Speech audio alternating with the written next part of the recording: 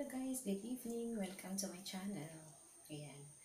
Gawin natin today is magluluto ako ng putong bigas. Ayan. So, tara, umpisahan na natin.